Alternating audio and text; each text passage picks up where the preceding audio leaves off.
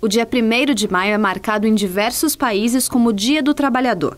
No Brasil, em 1943, na gestão do então presidente Getúlio Vargas, a CLT, a Consolidação das Leis do Trabalho, foi instituída, criando um novo formato para as leis trabalhistas. E de lá para cá, a luta pelos direitos não parou e foi destaque no discurso dos participantes da sessão solene que aconteceu no último dia 27, em homenagem aos trabalhadores. Onde estão aqueles direitos? É uma reflexão que nós temos que ter, porque o futuro dos nossos filhos, o que eles vão herdar, vai ser aquilo que nós vamos deixar.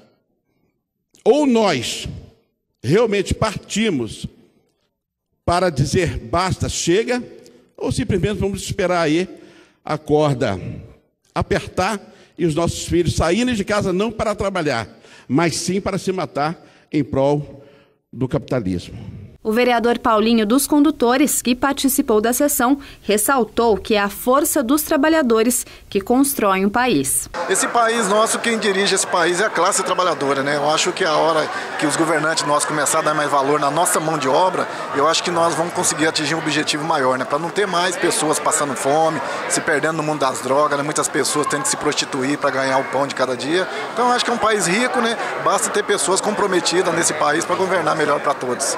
Já a presidente da Câmara, Lucimar Ponciano, destacou a importância de lutar por ambientes profissionais adequados para alcançar mais qualidade de vida. É o trabalhador ele tem que saber que ele tem o dever de lutar pelos seus direitos.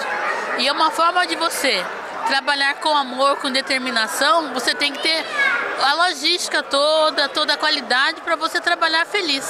Né? A gente não pode pensar que só o financeiro nos faz nos sentir como trabalhadores, como profissionais, mas o ambiente que nós trabalhamos, que nós proporcionamos, a convivência com os demais é, companheiros de trabalho é muito importante. Então, é um direito de você reivindicar as condições melhores de qualidade de trabalho, de qualidade de vida. Então, e também é uma forma de trabalhar feliz. Durante a solenidade, 12 trabalhadores de diferentes áreas foram homenageados e receberam diploma de mérito. As mulheres também marcaram presença no evento, demonstrando a força feminina no mercado de trabalho. Para a mulher sempre foi muito difícil. Nós sabemos que a luta é antiga, né? Mas nós sabemos também que nós podemos fazer o nosso lugar nós podemos fazer a realmente todas as pessoas acreditarem que a mulher é capaz, que a mulher realmente pode ter uma igualdade.